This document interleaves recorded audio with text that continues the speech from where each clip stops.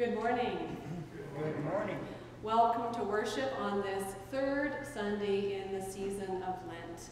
Welcome to those who are here in the building and those who are joining us online. It's good to be together as the body of Christ. We continue our Lenten focus on prayer this morning with a practice called Lectio Divina. I'm curious, has anyone heard that phrase before? See one hand going up. perfect, perfect. This will be an introduction for all of us. Uh, it's a Latin phrase that basically means sacred reading, and it's a way of praying with Scripture. Um, we know that Scripture is for us a source of wisdom, of comfort, of challenge. Um, it's very central to us as Christians. It's a place that we trust and that God meets us in these words when we read them. And so we'll have some time to practice this way of praying together today. I'll lead you through this, um, this way of praying. Um, and it's really not so much a way of reading scripture, but very much listening.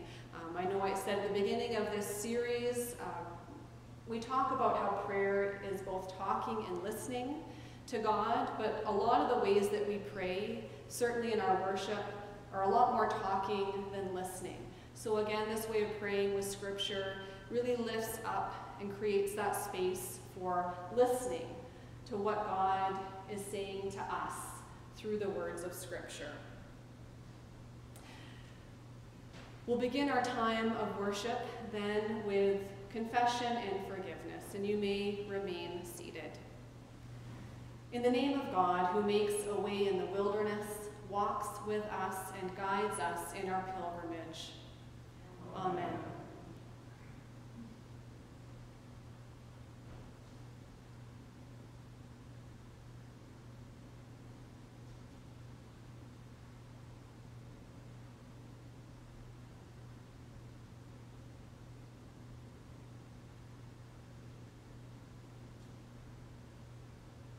Holy One, we confess that we have wandered far from you. We have not trusted your promises. We have ignored your prophets in our own day. We have squandered our inheritance of grace. We have failed to recognize you in our midst. Have mercy on us. Forgive us and turn us again to you. Teach us to follow in your ways. Assure us again of your love, and help us to love our neighbor. Amen. Beloved in Christ, the word draws near to you, and all who call out to God shall be saved. In Jesus, God comes to you again and again and gathers you under wings of love. In Jesus' name, your sins are forgiven. God journeys with you and teaches you how to live in love. Amen. As you are able, I invite you to rise in body and in spirit for our opening hymn.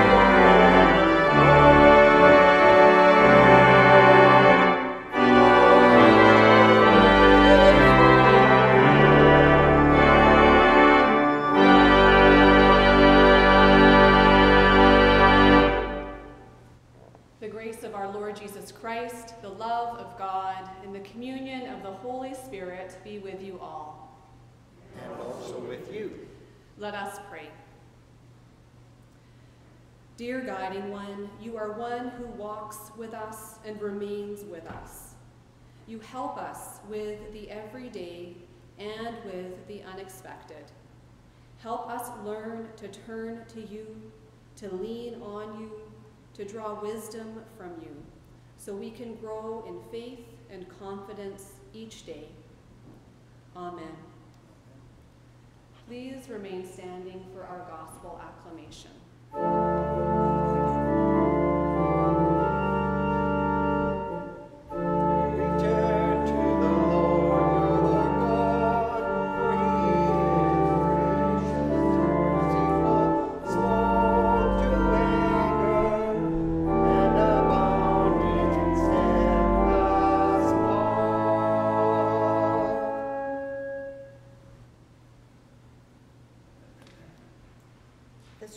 Taken from Luke 6, 12 to 13.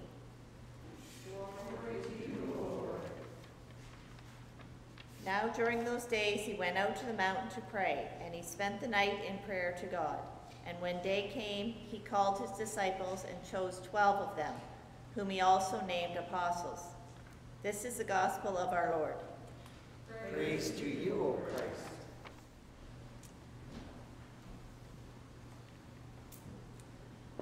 I'm going to test this out and see if I can see well enough because if you have watched our online worship, you probably will know that with this light on, it completely washes out me, at least with my complexion. So I'm going to see if this um, is better for our online worshipers uh, this week. So I wonder if anyone here can tell me what the shortest prayer in the Bible is. I don't know if that's ever come up in any Bible trivia that you've done before.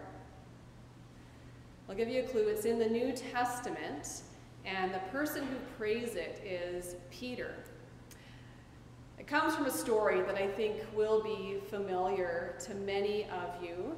Um, it's that story the disciples are out in a boat and there's a huge storm and they see Jesus walking towards them on the water. And when he gets close, Peter asks to join Jesus. And as soon as he steps out, I don't know if you remember this story, right? As soon as he steps out, immediately he starts to sink. And so he cries out, Lord, save me.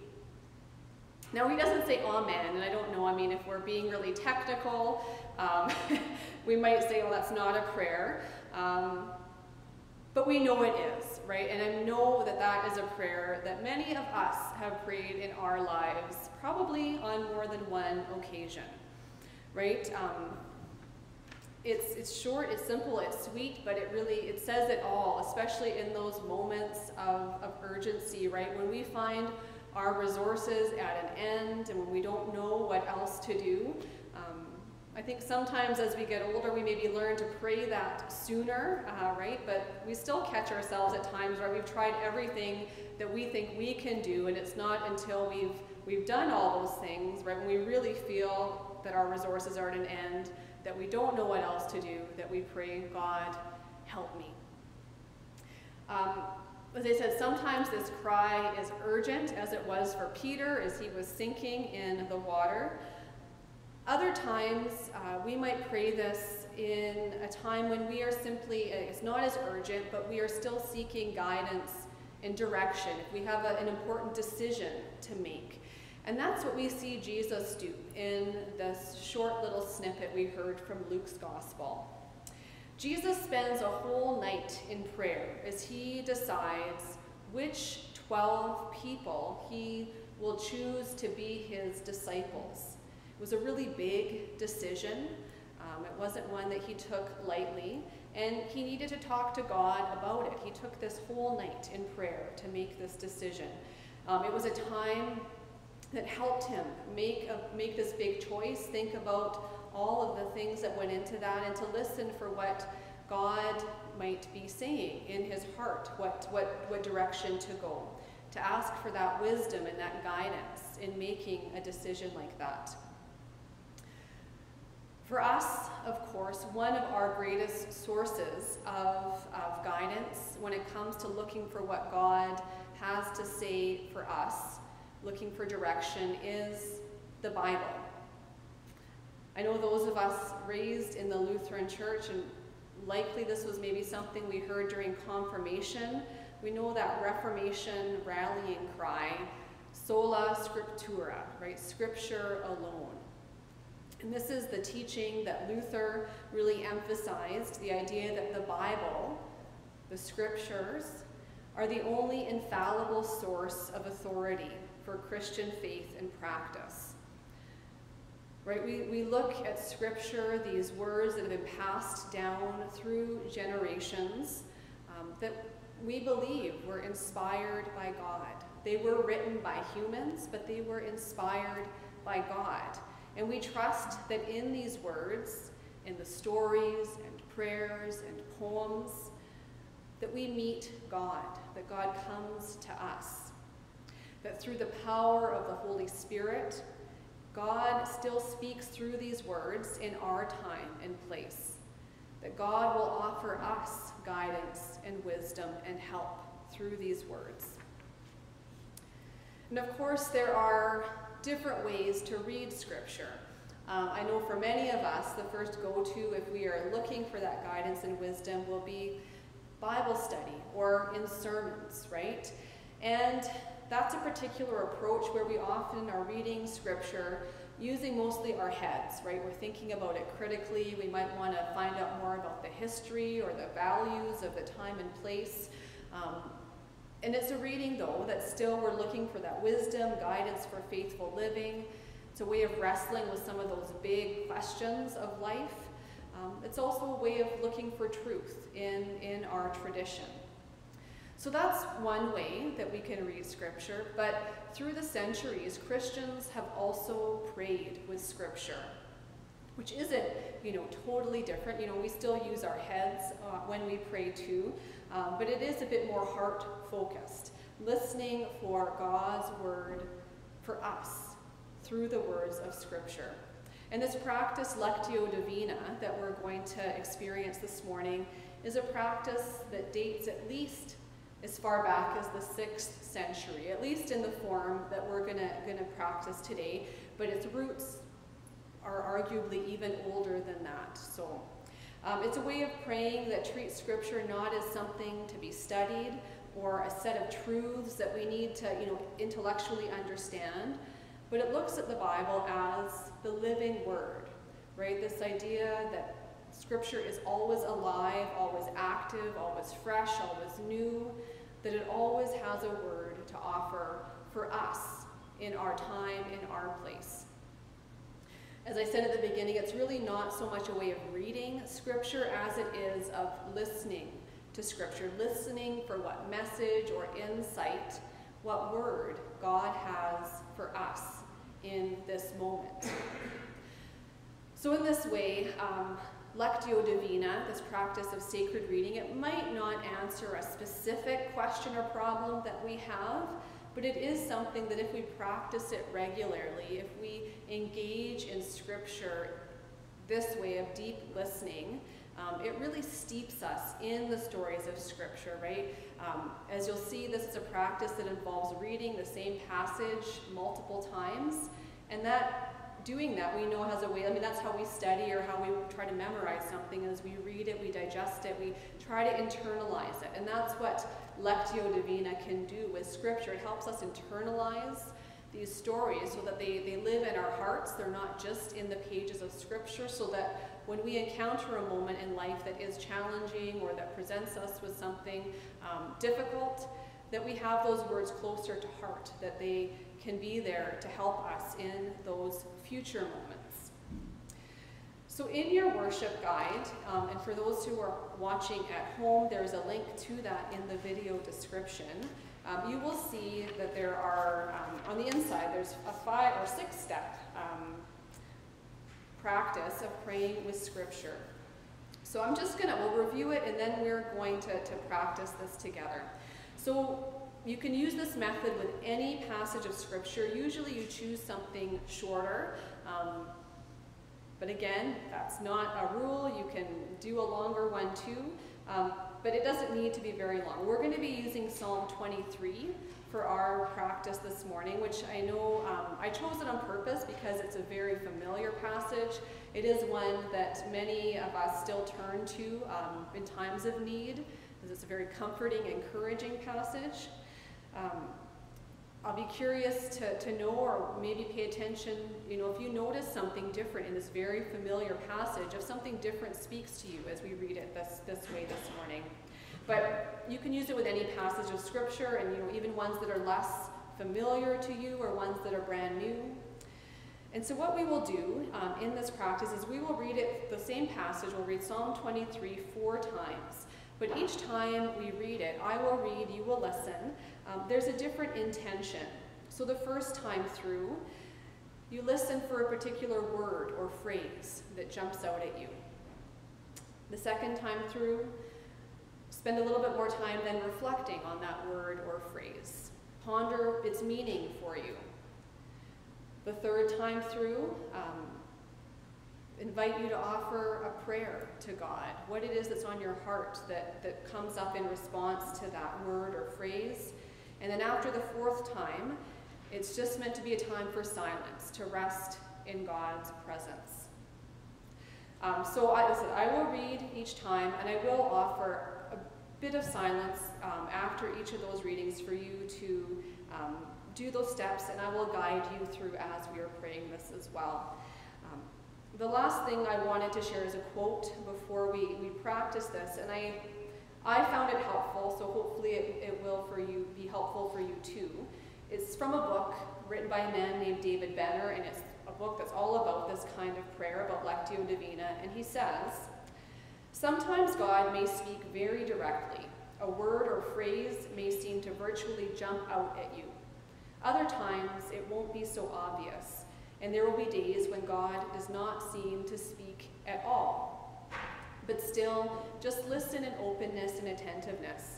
And if nothing in particular seems to be speaking to you in a special way, simply take a word or a phrase in faith and carry it with you.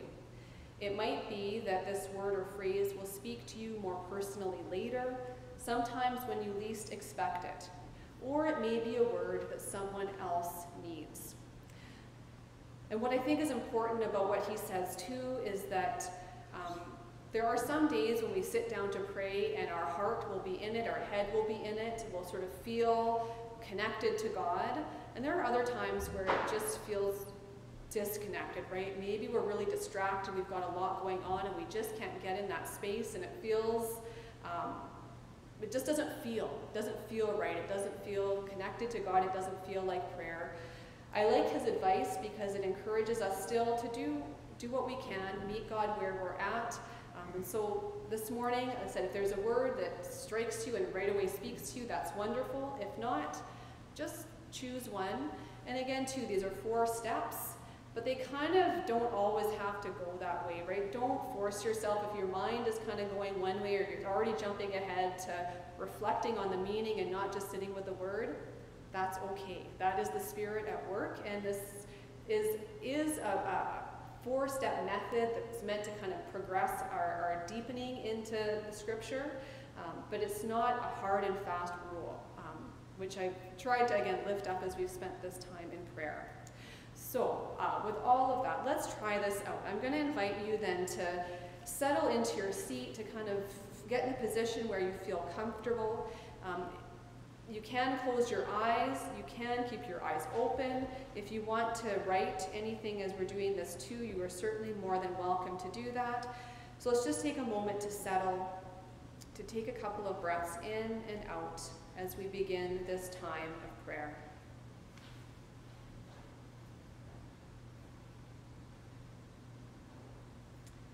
God, as we come to your holy word, we pray that you will open our hearts and minds to the message you have for us today. In this first reading, we attend to the words that we hear and we listen particularly for a word or phrase that stands out to us. The Lord is my shepherd, I shall not want. He makes me lie down in green pastures. He leads me beside still waters. He restores my soul. He leads me in right paths for his name's sake. Even though I walk through the darkest valley, I fear no evil, for you are with me. Your rod and your staff, they comfort me. You prepare a table before me in the presence of my enemies.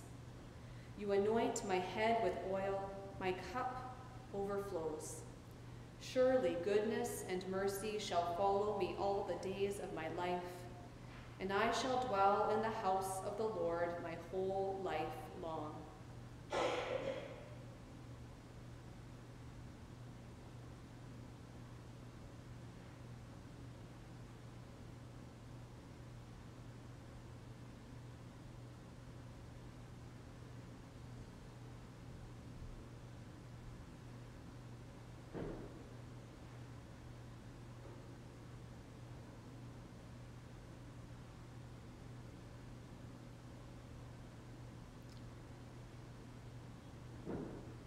As we listen a second time, I invite you to draw your focus to the words, phrases, or sentences that stood out for you, and to reflect on and be curious about why they resonate with you. What might God be asking of you through the scripture? The Lord is my shepherd, I shall not want. He makes me lie down in green pastures. He leads me beside still waters. He restores my soul. He leads me in right paths for his name's sake. Even though I walk through the darkest valley, I fear no evil, for you are with me. Your rod and your staff, they comfort me. You prepare a table before me in the presence of my enemies. You anoint my head with oil, my cup overflows. Surely goodness and mercy shall follow me all the days of my life, and I shall dwell in the house of the Lord my whole life long.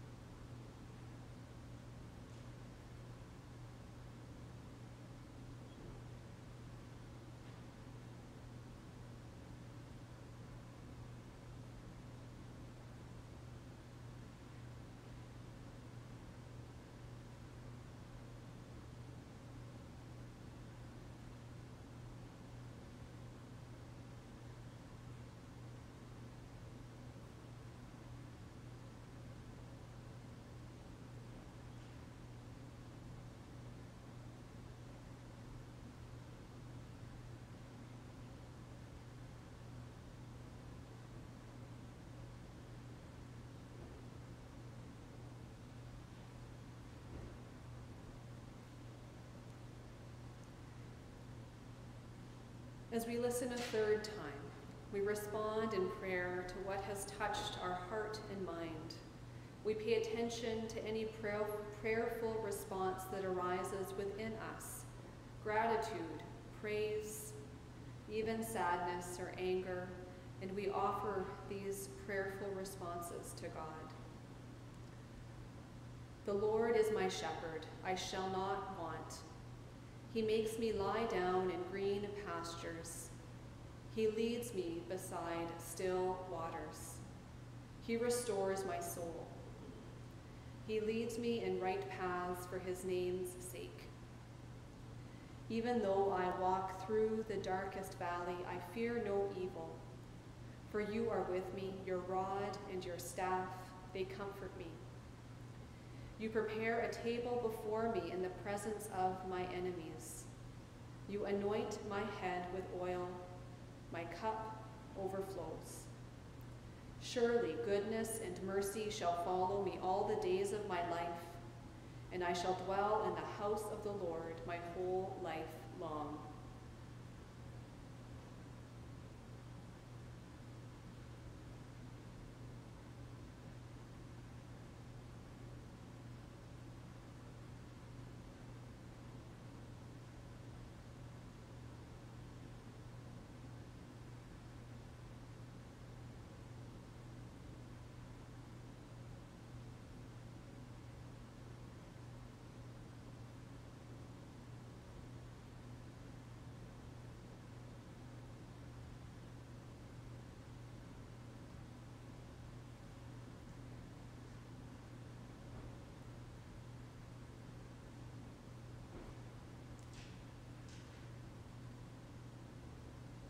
As you hear this passage one final time, allow yourself to simply be with God in silence.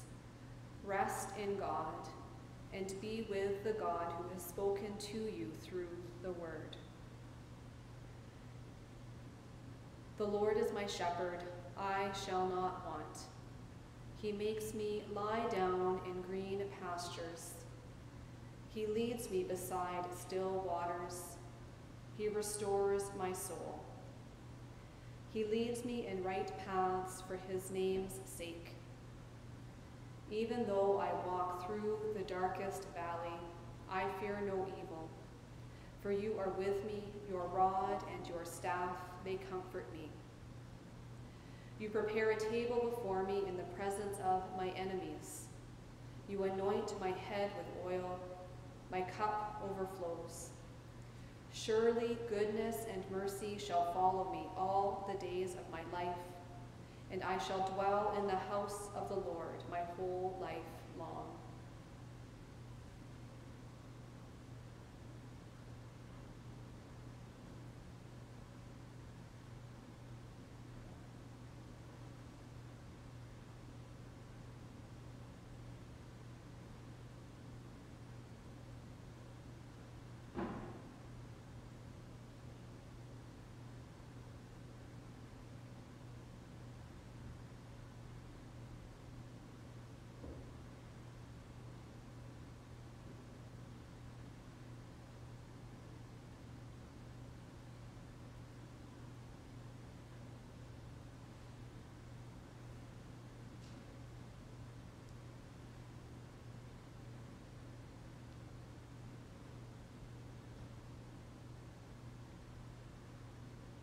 Thank you, God, for the many ways you speak into our lives. Thank you especially for the gift of your word, hope, wisdom, inspiration, and life for generations. Amen.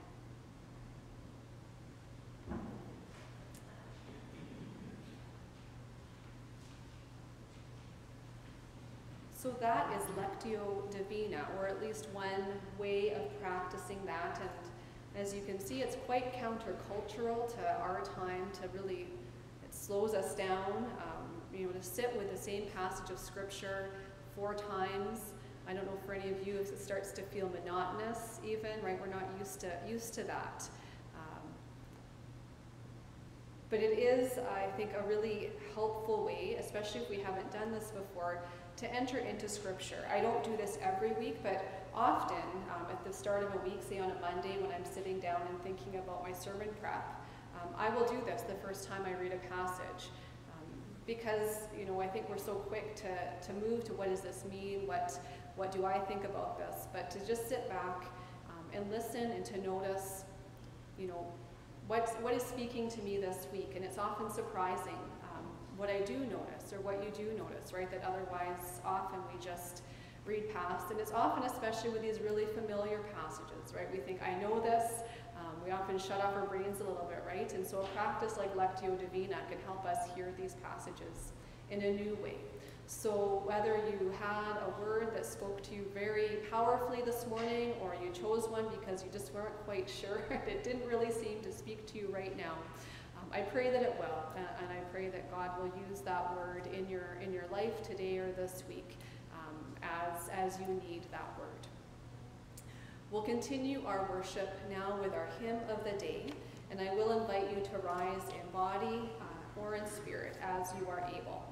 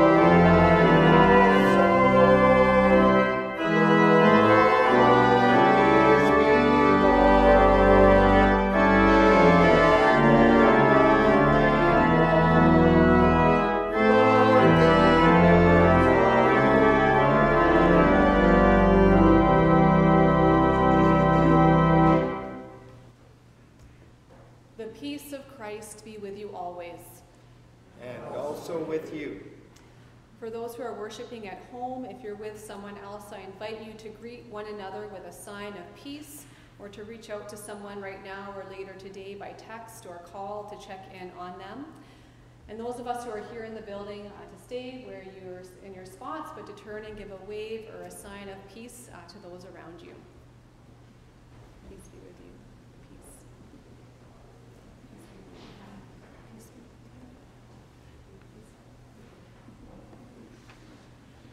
be with you.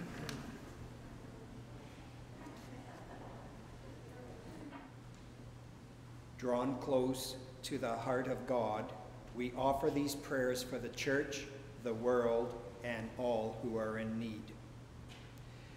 We pray for the church around the world.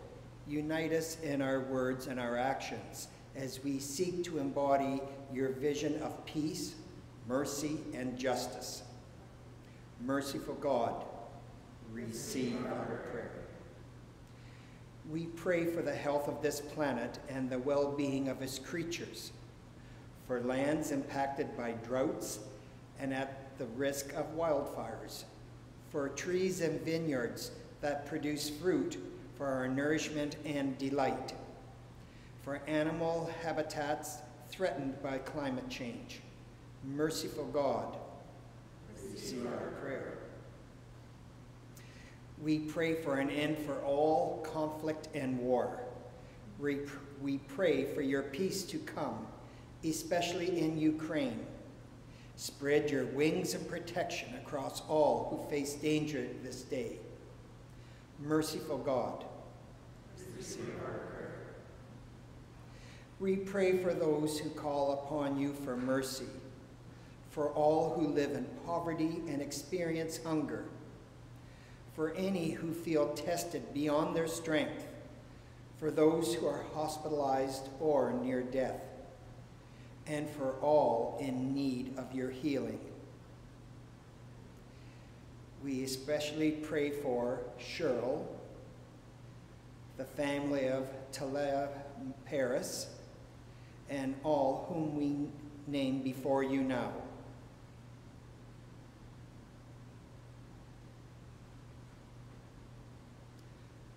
Merciful God, receive our prayer.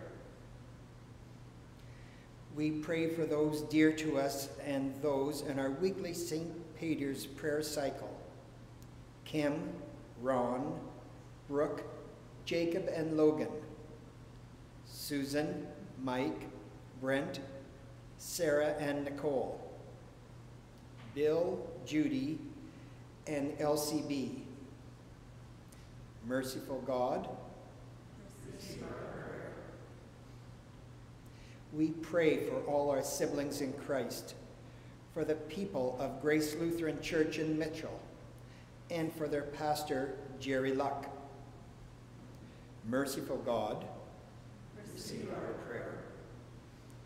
We lift these and all our prayers to you, O God, confident in the promise of your steadfast love. Through Jesus Christ our Lord. Amen.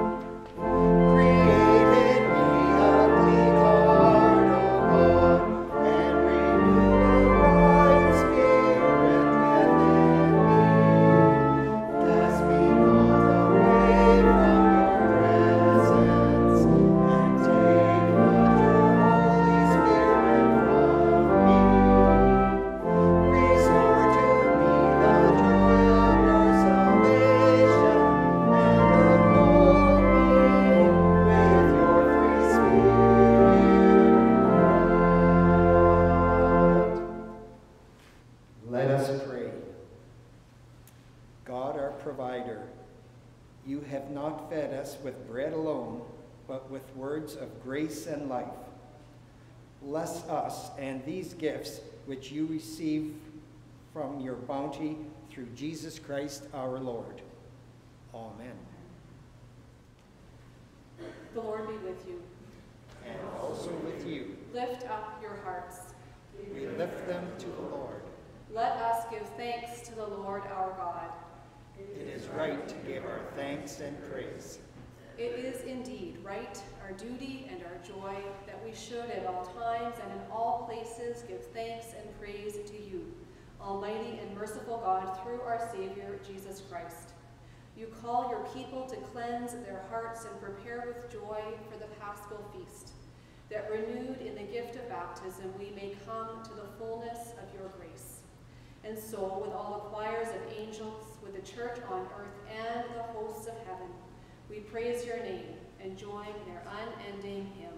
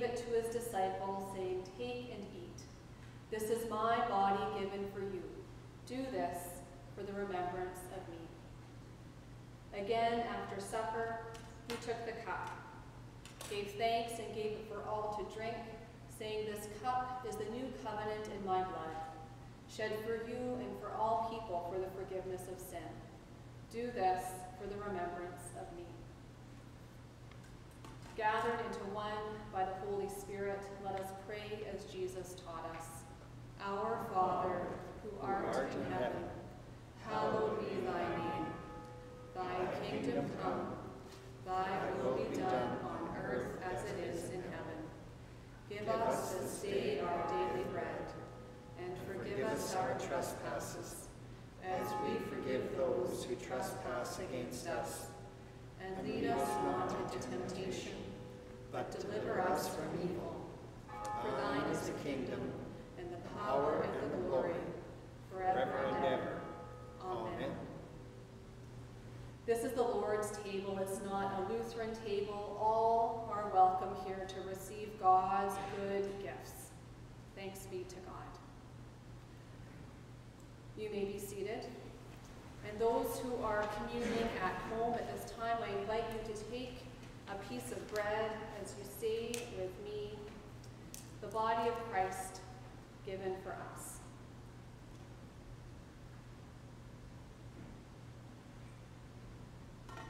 And likewise, take your cup as together we say the blood of Christ shed for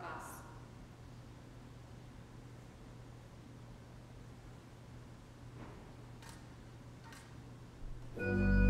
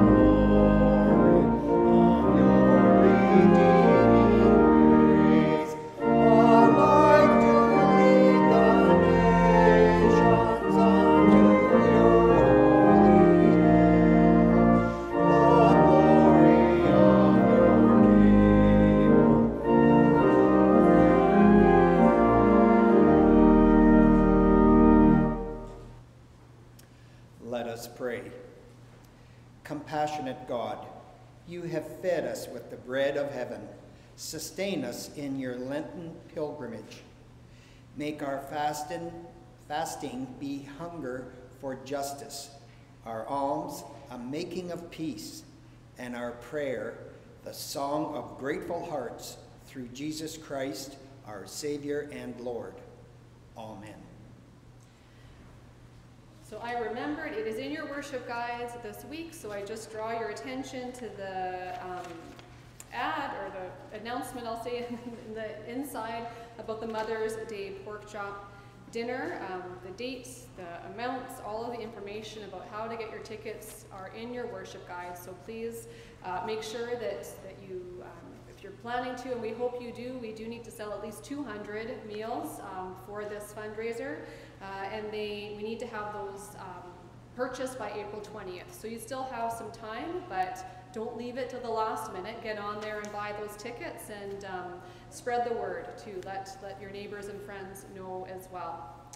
This Saturday, uh, March 26th at 9 a.m., we are having our annual indoor spring cleaning here at the church. So that's mostly in the sanctuary, doing all of the dusting um, and deeper cleaning that doesn't happen throughout much of the year. Um, meeting at 9 a.m., we love any and all who are able to come out and help. Uh, bring your own rags and, and, equipment and all that. And um, if you're not quite sure, we'll have someone here to help guide you on what needs to be done. Um, it's another thing too, if there are high school students that need volunteer hours, uh, we can sign for those. So that's, um, if, if, people are looking for hours, please come out for that as well. Um, for Palm Sunday, so again, this is not coming up until April 10th, and I will remember to put this in the worship guide for next time. Um, the Eastern Synod is doing a special initiative, encouraging congregations, instead of waving palm branches, to um, wave, I don't know if we'll actually wave them, but to wave textile items. So to find an organization in your community that is in need of things like um, socks, underwear, bed sheets, so on. So I, I did contact ShelterLink and I emailed um, the director, Joanna Parker, this past week, and she gave me a list of some things that they could use. So um, I will put this in the worship guide next week so you have it written out. But on April 10th, so Sundays before that, or for Sunday, April 10th, for Palm Sunday, if you would like to participate, um, to bring things like single bed sheets and pillowcases, single mattress protectors, underwear, washcloths and towels, or reusable cleaning cloths and rags are all textile items that ShelterLink could make use of. So um, for Palm Sunday, that is what we're going to do. Um, we were not, well, I also, I didn't get the email this year about ordering palm branches because we haven't done it in a couple of years. So um, this is what we will do. And I think it's a really wonderful initiative to actually do something for our community, um, for an organization that needs uh, support. So just keep that in mind and you'll be reminded again in the Sundays leading up. I want to just say a word too, of course, I'm sure you know that tomorrow public health guidelines are changing in our province. Um, namely, the mask mandate is being lifted. So Church Council discussed this at our last meeting and this was sent out by email. So I just want to say again, um, Council decided that as of tomorrow when the mask mandate is lifted, that it will be up to folks to choose whether or not they want to wear a mask. Um, and I know, again, like so much of this stuff has become really difficult. Um, it seems like we are not on the same page, right, after all this time. Some are more comfortable, some are less comfortable. Um, so whether, you know, you, you choose not to wear a mask or you choose to continue wearing a mask, um, we are, we are in this together and we're sort of understanding that we are at different places in all of this and still remaining hopeful that things will continue in a positive direction, that we can carry on with the easing of these public health restrictions. Um, yes. Were there any other announcements from council, anything else I needed to lift up?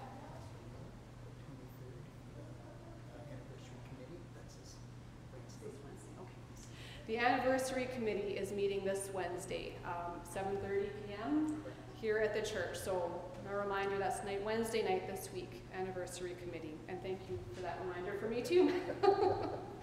um, the last thing that I want to share then is um, We have an anniversary celebration in our midst this morning. Barb and Wayne Higgins are celebrating their 52nd wedding anniversary. They were married here in this church 52 years ago today by Pastor Brill. So we're very thankful for you guys.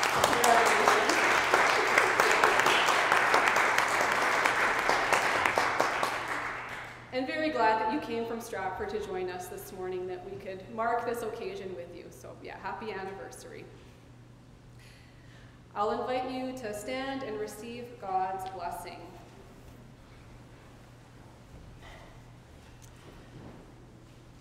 You were children of God, anointed with the oil of gladness and strengthened for the journey. Almighty God, motherly, majestic, and mighty, bless you this day and always. Amen.